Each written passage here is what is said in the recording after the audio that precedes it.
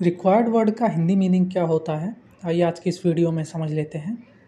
Required word का हिंदी मतलब होता है आवश्यक, अपेक्षित, मांगा हुआ, चाहा हुआ या फिर आकांक्षा किया हुआ, यानी कि ऑफिशियली कंपलसरी और अदरवाइज़ कंसिडर्ड इसेंशियल आइए इसे एक एग्जांपल से समझते हैं।